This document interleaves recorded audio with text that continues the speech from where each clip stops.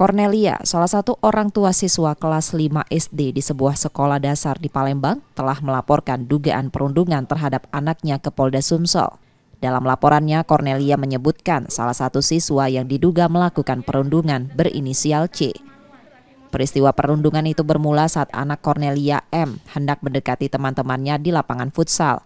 M bertemu dengan terlapor C yang kemudian melakukan perundungan hingga menyebabkan luka memar pada M seperti yang terlihat dari hasil visum. Cornelia menjelaskan perundungan ini sudah berlangsung sejak M duduk di kelas 4 atau setahun sebelumnya. Terakhir, perundungan terjadi saat jam istirahat dan membuat M enggan masuk sekolah.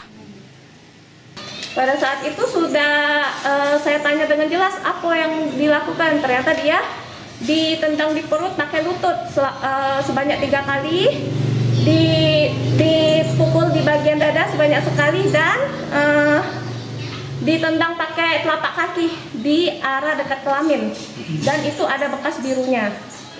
Nah, pada habis kejadian itu saya dipertemukan oleh pihak sekolah dengan keluarga uh, pelaku ini.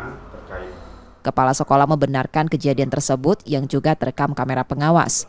Terlapor C adalah anak dengan kebutuhan khusus dan saat ini sudah diskorsing dari sekolah.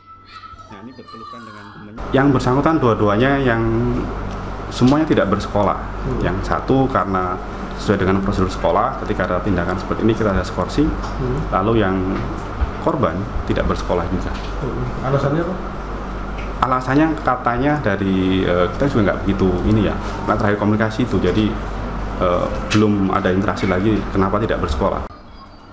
Laporan Cornelia saat ini tengah ditangani Polda Sumatera Selatan. Reski Oktora, Muklas Diferensial, Kompas TV, Palembang, Sumatera Selatan.